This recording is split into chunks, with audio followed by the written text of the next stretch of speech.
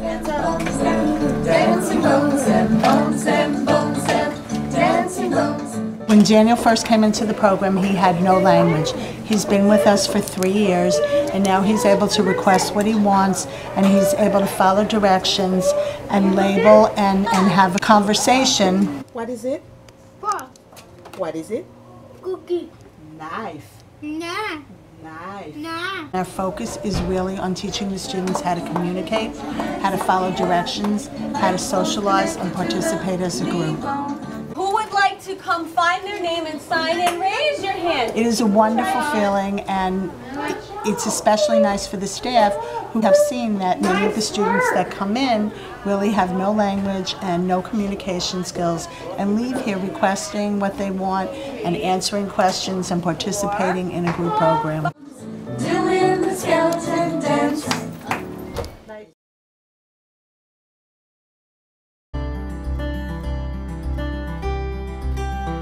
My first time working at a real job. My past several years, I worked, but I worked at the tech center. Like I didn't get paid, I was in class. And I really enjoyed my class. And I learned a lot. And I learned all about recipes and whatnot. Now I'm here working.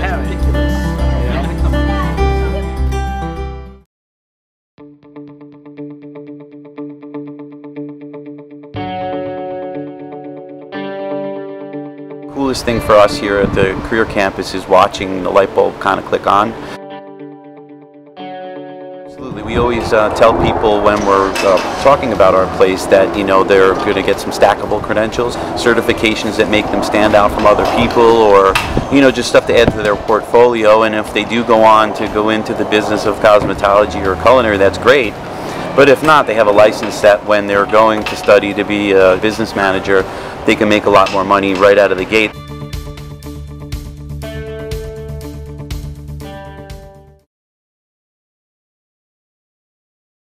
TV is more than just what you see on camera. TV is a lot behind behind the scenes. It feels really good because you know, like you did that. The video is yours. You, you planned it out. You got all the actors and talent, and you did all the cameras. And it's really awesome to see that. I expect the kids to come away with a grasp for how a television program is put together, both from the point of view of the camera and what it takes to get a good shot. Never going to get this experience at their home schools. They don't have people who have been in the business and know how to teach them the way things are done.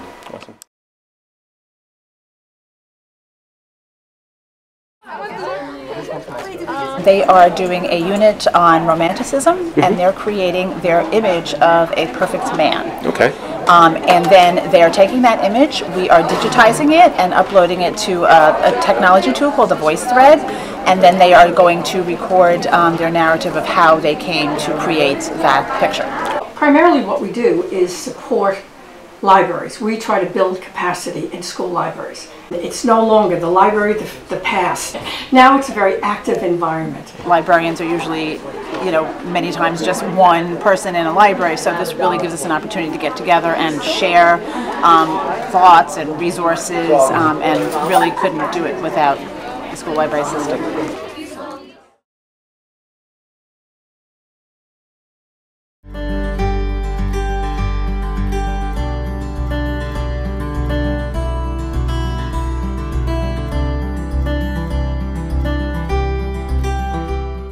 We see ourselves as the go-to team, and we want to be very responsive to our districts and to our educators and in, our communities. We work directly with teachers and administrators in, in helping them implement new curriculum, and so the work that we do directly helps kids.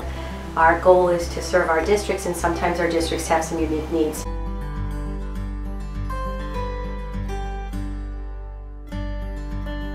It's really gratifying to know that we can kind of help say, it's okay, we've got this, here are the resources, here's how you do it. We're on a continual journey with educators around what instructional practice looks like, um, how it's changing, how it's evolving, um, how we help um, our kids meet um, the demands that they'll have um, for 21st century learning. I've always believed that some of our best practices sit right here in Westchester County.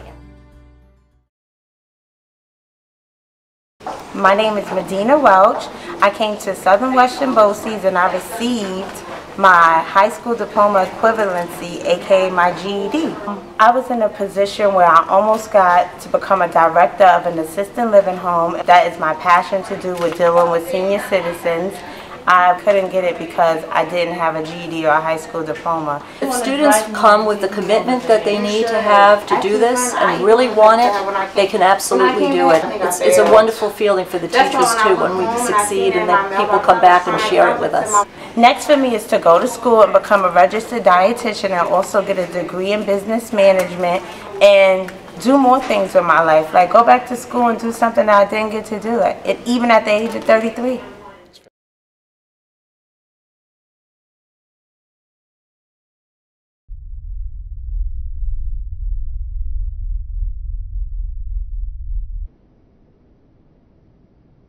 Purpose of the incarcerated youth program actually is to help facilitate the transition uh, from incarceration back to the community. The other involves issues around social, emotional, uh, intellectual transformation. Well, I think that ultimately it gives them a second chance, and also we see the uh, incarceration is not so much an end point in one's life, but as the beginning of a different path. We're trying to turn a negative into a positive, actually, uh, take advantage of the, of the time that we have with them. Again, help them to make the transition to better things in their life.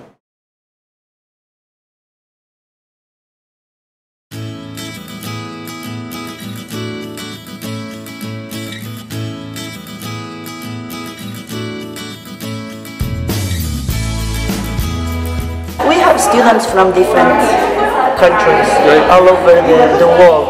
So most of them, 80% of the students are Latinos. Uh, we have some from uh, Africa, from Haiti. I teach level one and the students, can, they can choose whatever they want. To.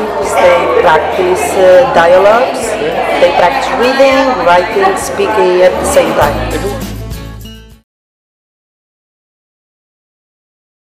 We represent the Tri-County area here of 62 school districts serving 300 school buildings and about 220,000 students. Our main responsibilities are technology support for school districts, teaching and learning services, so there's a whole PD piece and all the staff development and training of teachers and, and, administrators in the area of the use of technology in schools, as well as the infrastructure pieces, which is an entirely technical side of the house. Our student data services handles all of the testing and the processing of those tests and the requirements for the state education department.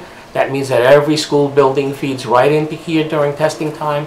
All that data is compiled and all that data is then pushed up to state ed to feed into the state system and then eventually the information that comes back out, such as a parent report card or the data that goes to teachers about individual students, all emanates from here back out to the local school districts. We support printing of checks for school districts and we run their financial services departments. We help support them with the technology that allows them to operate on a daily basis. We do a planning and support services program which also helps the school districts in analyzing what their needs might be going forward.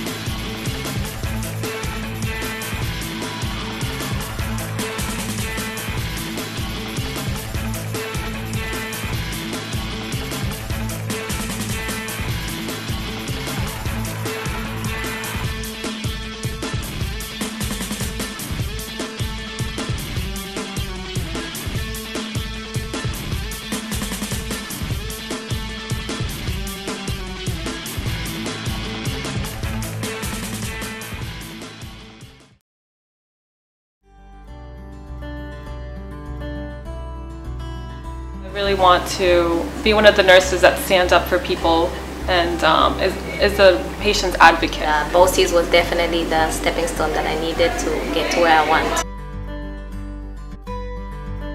Our simulator mannequin it allows us to um, have you demonstrate your assessment skills, your nursing diagnosis, your implementation of evidence-based practice. They feel very confident actually when they leave the school that they're they're really a nurse.